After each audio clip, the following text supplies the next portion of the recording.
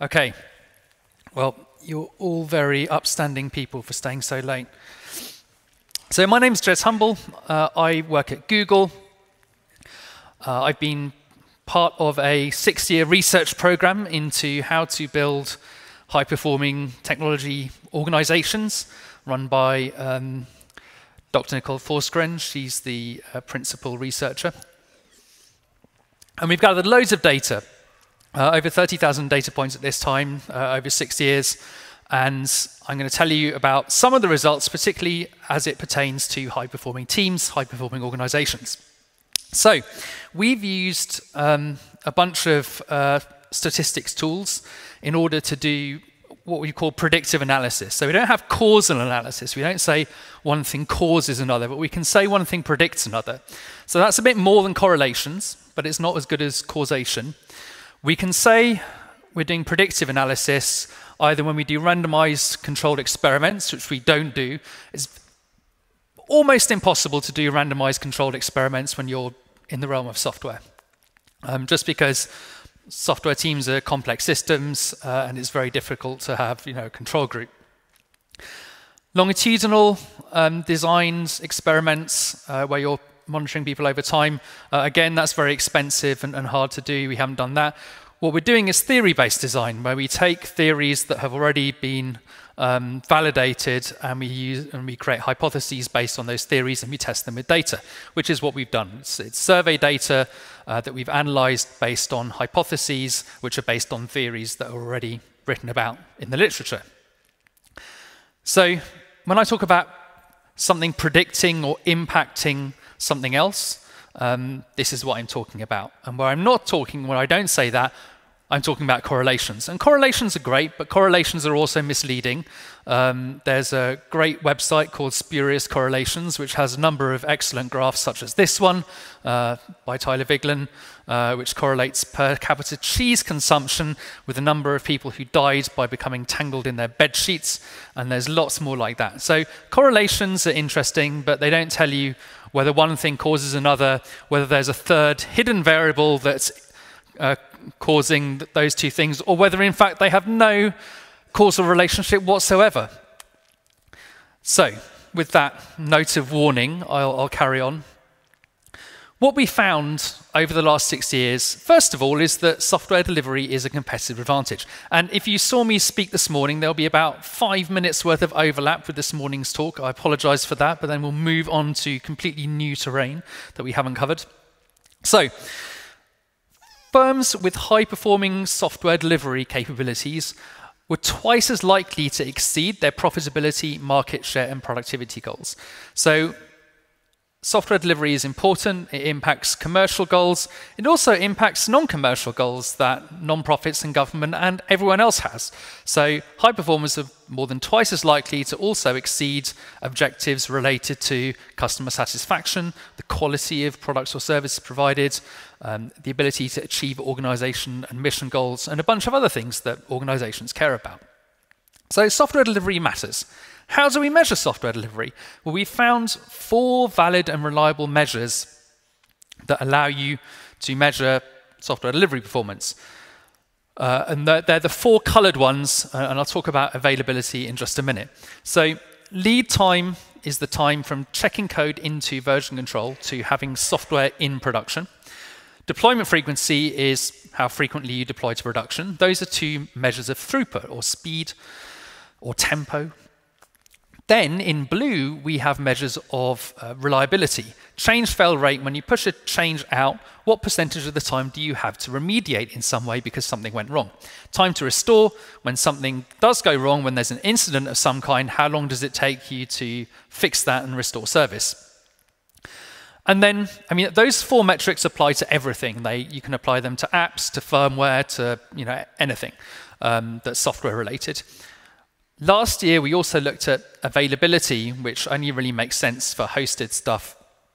Um, and in that situation, availability works like the other ones. Uh, and works like the other ones means this, and this is the crucial fact. What we find is that high performers are doing really well at all of these things. There's this kind of very common misconception that people trade off speed against stability and availability, and we find that's not the case. We've reproduced these results for the last six years, and what we find is that when we do cluster analysis on our data, uh, it always splits up into three or four groups where there's a group that's doing really well, in this case, an elite group that's able to deploy on demand multiple times per day, lead time for changes of less than a day, time to restore service of less than an hour, and a really low change fail rate. And then at the other end, there's a low performing group. And, and exactly how well they're performing varies year to year. But 2019, we find they're deploying between once a month and once every six months. Their lead time for changes is between once a month and uh, six months, or sorry, between one month and six months, because they're releasing code in big batches. They're doing you know big batch releases. Their time to restore service is really shockingly uh, worrying. Um, and, I, and we think what's happening there is that particularly in the case of security incidents, security breaches, it takes a really long time to fix everything. Even if you can kind of get the system back up and running, you've got data fixes on the back end and stuff like that. And then this high change fail rate. So we've consistently found there's an elite performing group, there's a low performing group, and then there's one or two groups in the middle who are doing better than the low performers, but not as well as the elite performers. This is true across all different sizes of companies. You find high performers in big companies of 10,000 or more, and you find low performers in small companies. Uh, I've certainly worked at, uh, or I have friends, let's say, who've worked at startups, uh, which would be in the low performing group, and I've worked in teams in the US federal government that were high performing groups. We also find that these results generalize across industry. You find high performers in highly regulated organizations, including financial services, um, telecoms, government, healthcare, and you can find low performing groups in, in technology. So you don't have to be a small technology startup to be a high performer. You can be in a big, highly regulated organization and be a high performer. Um, and equally, you can be in a small startup and be a low performer too. So, obviously, you want to know how to get better. We've been looking at that too. And what we find is there's a load of stuff which predicts software delivery performance. This is uh, what we lovingly call the, the BFD, the big and fulsome diagram. These are all the things that predict software delivery performance. So I talked about some of these things this morning, uh, particularly around cloud infrastructure. This afternoon, I'm going to talk about a bunch of the rest of them. And there's four basic categories that I want to cover. Firstly, I want to talk a little bit about continuous delivery and technical practices. Then I'm going to talk about lean management and product development practices. I'm going to spend a bunch of time talking about culture, and then autonomous teams are the fourth ingredient. So, all four of these things predict software delivery performance. So if you want to get better, the way you do it is by implementing these groups of capabilities. So let's start with the technical practices, uh, continuous delivery. So continuous delivery basically is about making releases boring, making production deployments things you can do at any time of day, uh, at the push of a button, uh, the more formal definition is that you can make any kind of changes uh, in safely and quickly and sustainably, whether that's database changes or network changes or software changes, you know, whatever it is, infrastructure changes. That should be a low risk, predictable process. Who in this room has to perform deployments at evenings and weekends? Okay, like around 25% of you. So I'm going to take that as a sign of personal failure that we wrote the continuous delivery book nine years ago, um, basically so that people didn't have to deploy software at evenings and weekends anymore. That, that was the goal, to make sure that you could do deployments at any time, uh, and it was a boring process. We're still not there yet. Uh, I'm sorry, uh, that's, that's not the case. But I think it's important not to accept that as an inevitable consequence of the software delivery process. Um, I've been working in all kinds of organizations and gathering case studies, and we've shown that you can achieve continuous delivery in the federal government, building firmware, building apps, highly complex distributed systems. There's no, I mean, it's hard. It's really hard, but it's not impossible, and you can get there incrementally and iteratively. So don't lose hope. It's entirely possible to do it. It does require a whole bunch of, of stuff to be implemented, and, and that's what I'm talking about today. So, over the years, we've discovered a whole bunch of technical practices which predict your ability to do continuous delivery. From uh, source control practices like checking everything, including infrastructure configuration, into version control, which we used to call infrastructure as code and we now call GitOps.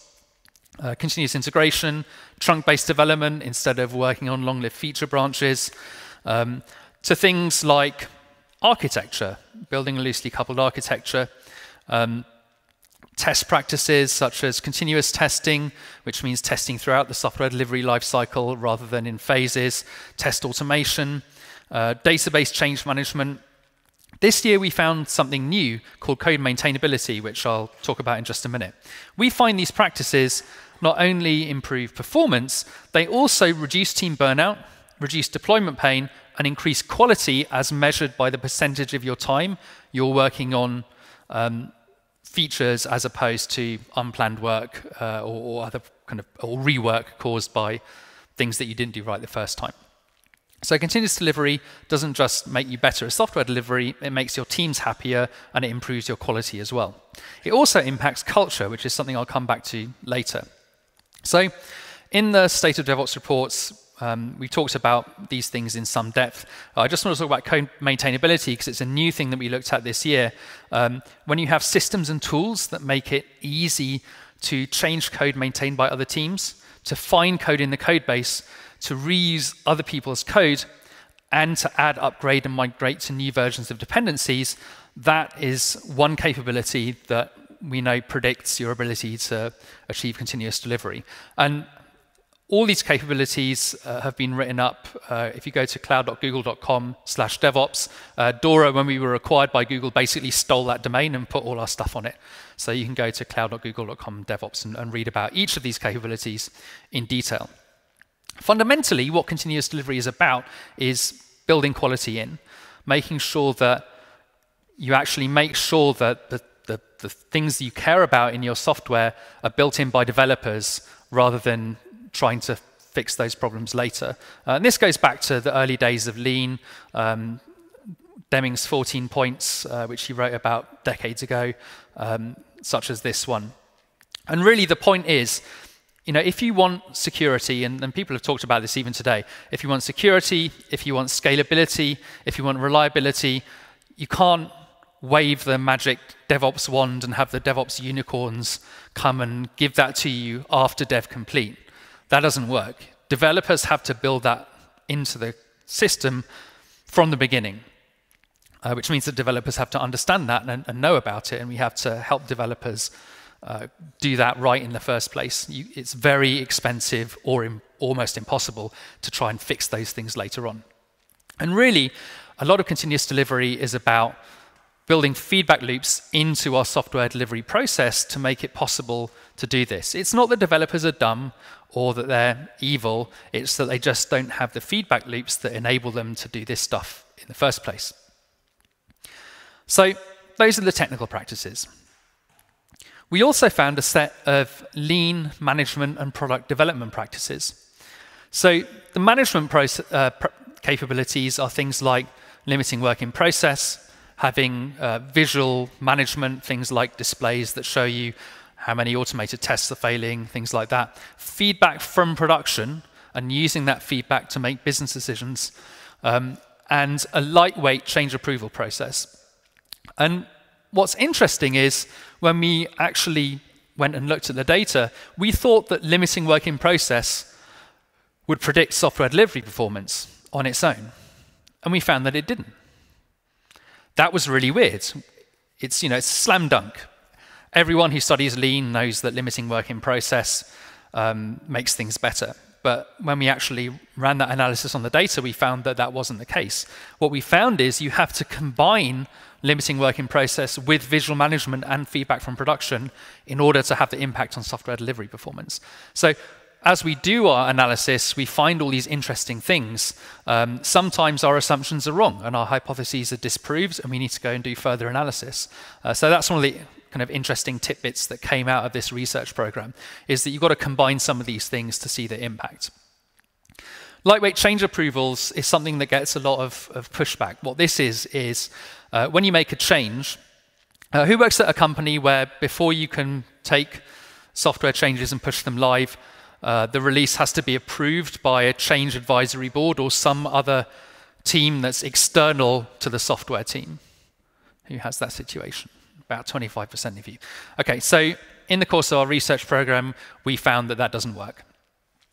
Uh, what it does is it release it reduces throughput and does nothing to improve stability. So basically, it slows you down without giving you any corresponding benefit. Um, and we did a deep dive on that this year. So if you go and download the uh, 2019 State of DevOps report, there's a whole section on uh, why that kind of heavyweight change approval process doesn't in fact work. Uh, what does work is when you have um, a lightweight change approval process, which means code review within your team or pair programming or other mechanisms by which people on the team check each other's code. So it's not that change approval is bad, it's that it has to be done you know, in, in small batches pretty soon after the code is written by people on your team who actually understand what's going on. Uh, and you can absolutely achieve the uh, goals of control objectives like segregation of duties that we absolutely care about in regulated organizations using a lightweight process that's very effective, um, but heavyweight change approval doesn't actually work, uh, even though it's not, I mean, it's basically not the best way to achieve that control objective. Lean product development uh, are a set of practices that come from, uh, I mean, they've been talked about a lot in the lean startup literature.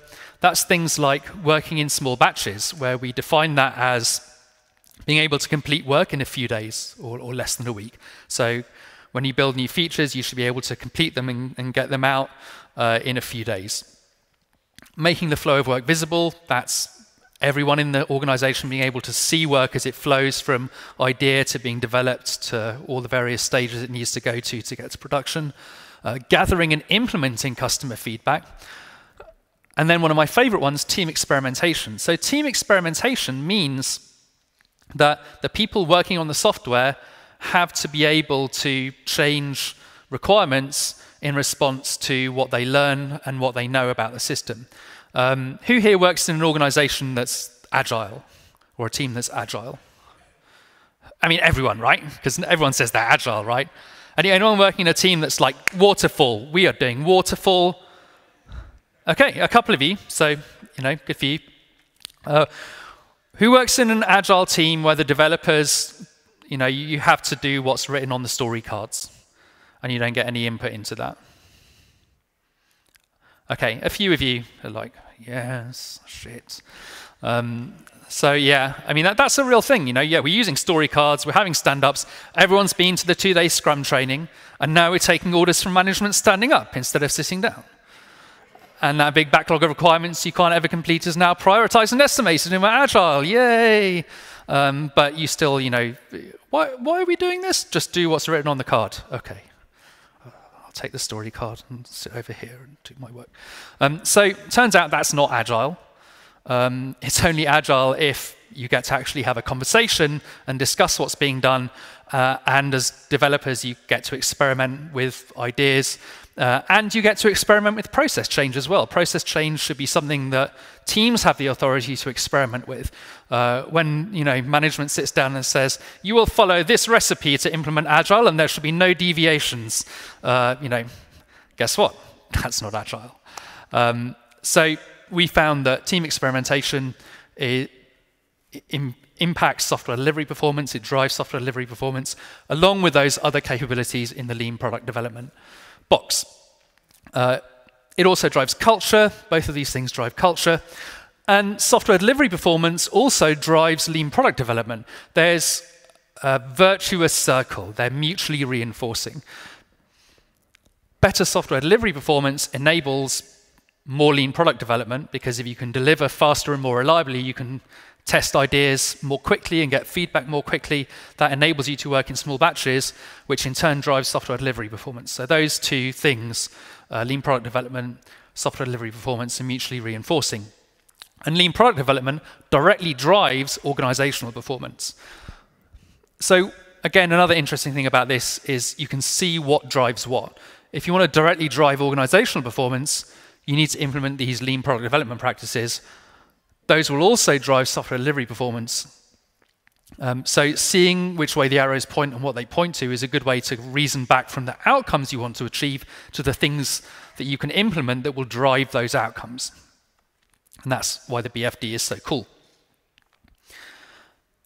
So I've talked about culture. That culture has popped up in this box quite a lot. I want to talk a bit about culture and, and what I mean when I talk about culture.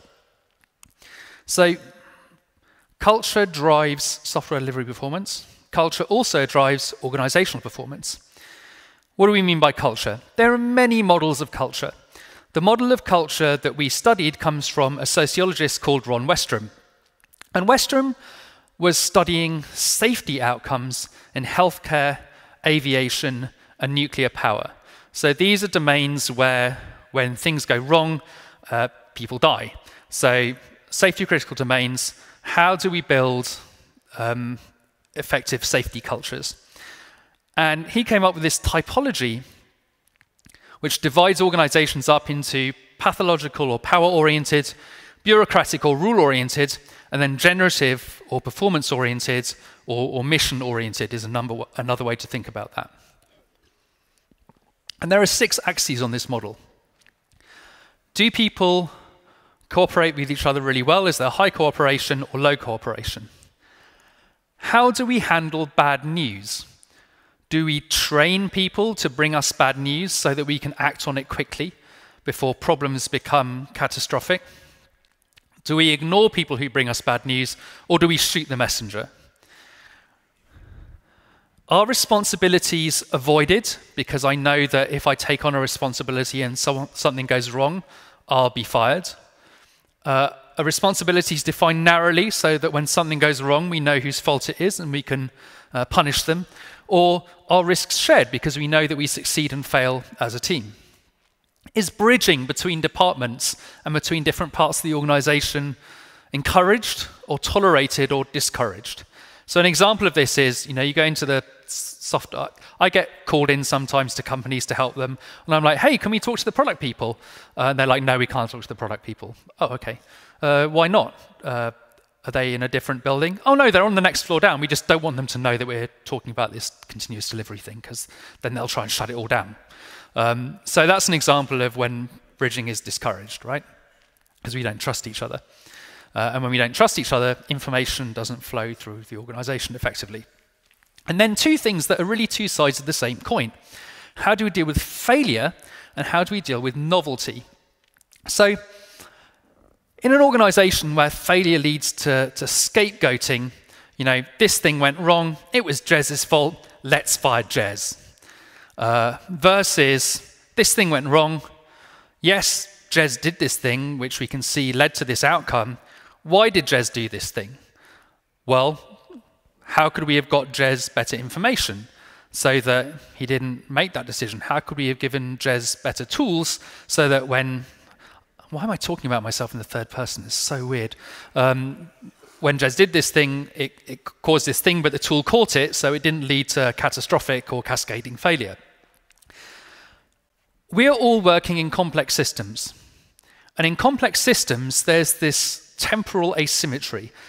When you look back after an accident, it's easy to look at the causal chain of what happened and, and, trace it back to someone.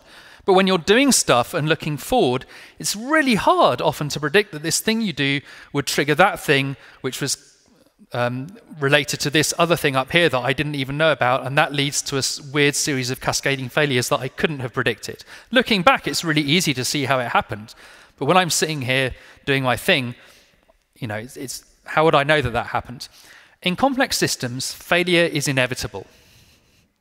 In complex systems, failure is inevitable. Will, there will be failure. And the interesting question is not why this person did this thing, But how can we improve the system and get that person better information and better tools to prevent that happening again? Because if we fire that person, what's going to happen? We're going to replace them with someone else, and the same thing's going to happen to that person unless we actually work to improve the system. So, in organizations or teams where failure leads to scapegoating, nobody's going to try anything new. Because novelty, doing things that haven't been done before, have a higher risk of failure than things we've already tried. And we know that failure leads to scapegoating, and so we're never going to try anything new.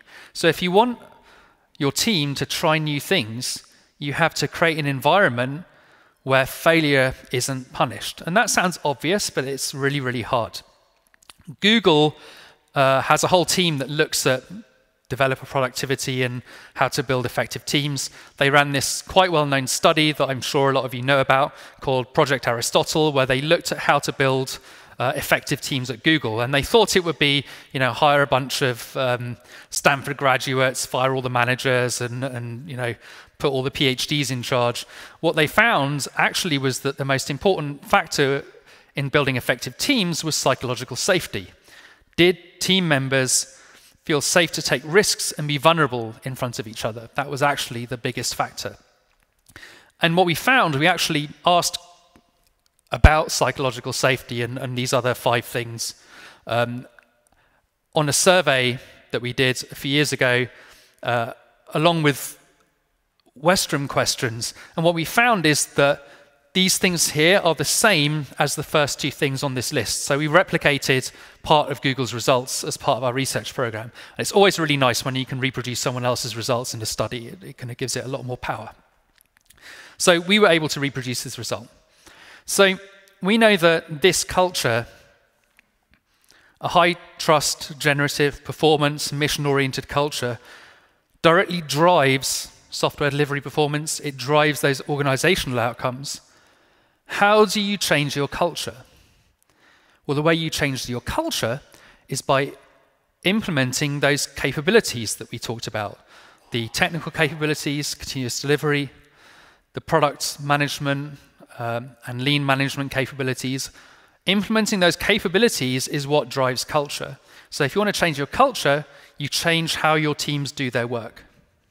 And that in turn, as the BFD shows, is driven by transformational leadership. So, again, the way that these kind of boxes and arrows are arranged is important. Having transformational leadership enables you to implement the practices and capabilities. Implementing those capabilities drives software delivery performance directly, and it also changes your culture. And a more performance oriented culture, in turn, dr drives software delivery performance. So, what does a high trust culture look like? Um, there's a company called Etsy, which in the USA provides a storefront for people making their own crafts. Um, and until a couple of years ago, when there was a huge management change driven by the investors, it was one of the companies that was a, a great example, an exemplar of DevOps practices. They had an annual developer conference and at their developer conference, they gave out an award to the engineer who'd caused the biggest production outage in the last year. This was the Three Armed Sweater Award. Because if you went to Etsy.com and got a 404, there was a picture of a sweater with three arms. So the Three Armed Sweater Award went to the engineer who caused the biggest outage. And this was not ironic or um, sarcastic, it was, it was genuine. It, Thank you for finding this problem so that we were able to fix it and improve our system and get better at what you do. Here's a three arm sweater. Thank you very much. So you can actually, this is uh, John Allspaw on the left and Ryn Daniels on the right. And you can actually go and read Ryn Daniels' blog post where they talk about the problem uh, and what happens and how they dealt with it. Uh, it's a really interesting read. I, I very much recommend that, going and looking at that. And one of the things that Ryn says is that when they spotted this outage, the immediate response from everyone around was to ask, What help do you need? And they swarmed on the problem and fixed it, and then they had a blameless post-mortem and found ways to improve the system so that couldn't happen again. And then Ryn gets the three armed sweater award at the annual developer conference. So that's what a high performance culture looks like. And it actually goes beyond that. In high performance culture, we're always trying to create problems so that we can find ways to improve the system because we know it's by creating problems that we discover ways to improve the system. So Google has a disaster recovery testing exercise, a DIRT exercise, we call it, every year, where there's a whole team that actually plans out scenarios like aliens invade Silicon Valley. And they do things like switching off connections between data centers, um, all kinds of kind of unusual and unexpected things. And the engineers have to keep the systems up and running uh, through that exercise. It's a, it's a really big deal. Um, it was run for a long time by Kripa Krishnan. She says, for DIRT style events to be successful, an organization first needs to accept system and process failures as a means of learning. We design tests that require engineers from several groups who might not normally work together to interact with each other. That way, should a real large scale disaster ever strike, these people will already have strong working relationships. So if you want to get if you, if you want to be, be comfortable about the possibility of failure, the best way to do that is to practice it. And it's by practicing it that you'll discover how to improve your system and get better. And then, as a bonus, when something bad does happen, you're like, oh, yeah, I know what to do. I know who's on call. I know um, the different systems I've got to look at to find out what's gone wrong. I know who's in charge of those systems, and you're comfortable with it because you've practiced it loads of times. This year, we looked at disaster recovery testing. We asked about it explicitly. We found that only 40% of organizations perform disaster recovery testing at least annually on production infrastructure. That's a huge problem. Um, that's something everyone should be doing is practicing disaster recovery um, at least annually on their production infrastructure, if not more often. So, with that in mind, some other things that directly impact culture retrospectives, postmortems, blameless postmortems, learning exercises, those directly impact culture. They also create a climate for learning in which learning is seen as a strategic investment rather than something that people should do in their own time. Uh, and a, culture, a climate for learning also drives culture directly.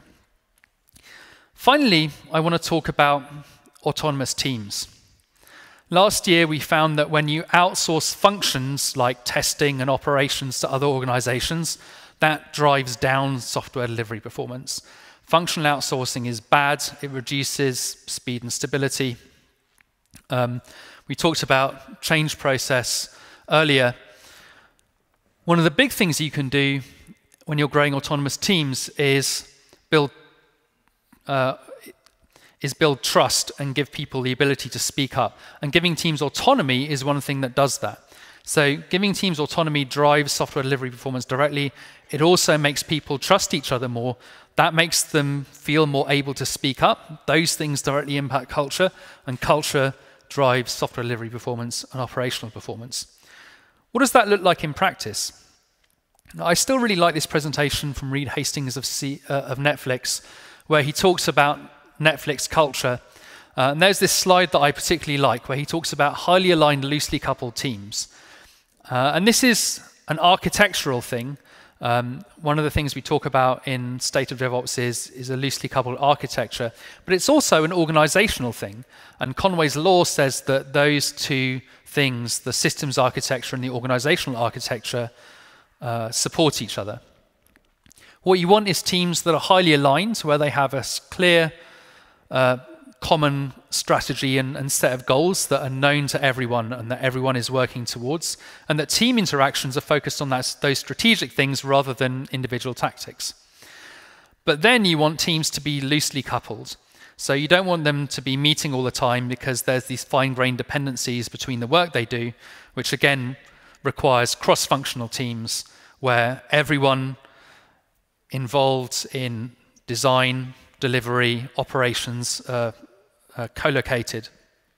Uh, that's what enables you to have fine-grained interactions happen within the team and coarse-grained interactions between teams.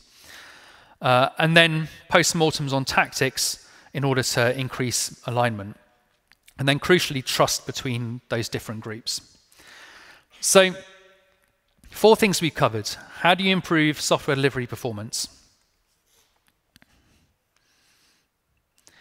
These four things continuous delivery, lean management and product development, a mission oriented culture with psychological safety, and autonomous cross functional teams. Um, if you're, if the, the only really sustainable way to do this is to have leadership support. Transformational leadership is the only way to ensure that when you try these things out, they become institutionalized.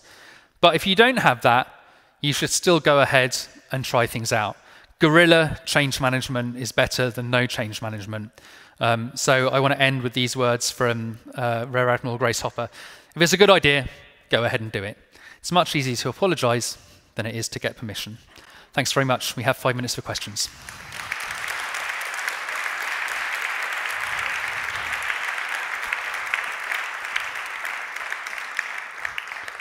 Thank you. All right. Um, all the stuff is on cloud.google.com slash DevOps. Yes?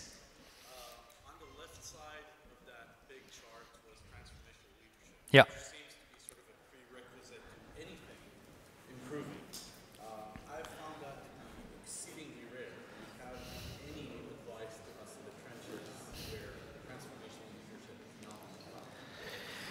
Yeah, so what do you do when you don't have transformational, transformational leadership? So I wouldn't say it's a prerequisite.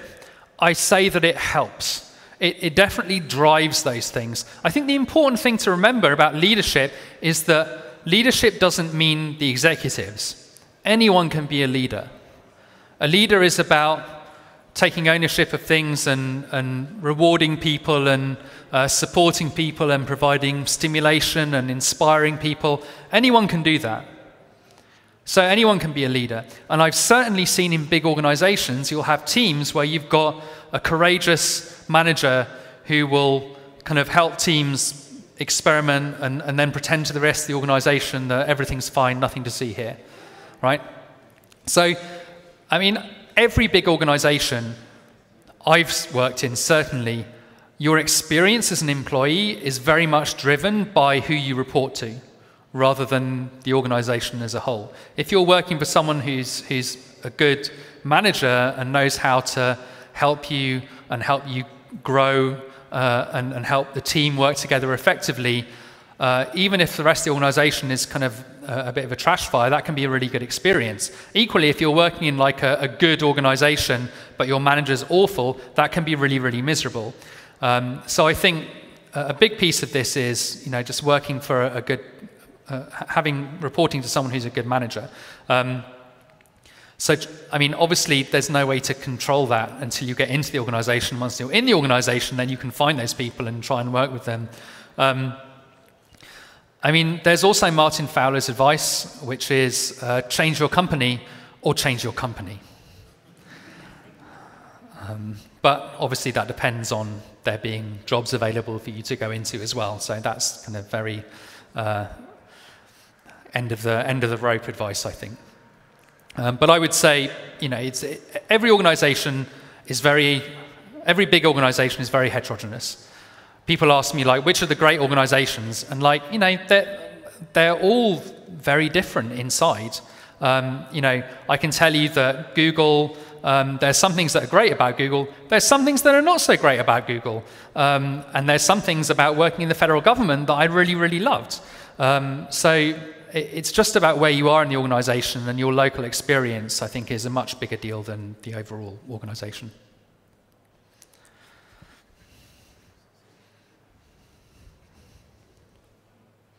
Other questions? Is there free beer or something outside? All right, well, I'll be here for a few minutes. Thanks very much for your time. Have a great evening.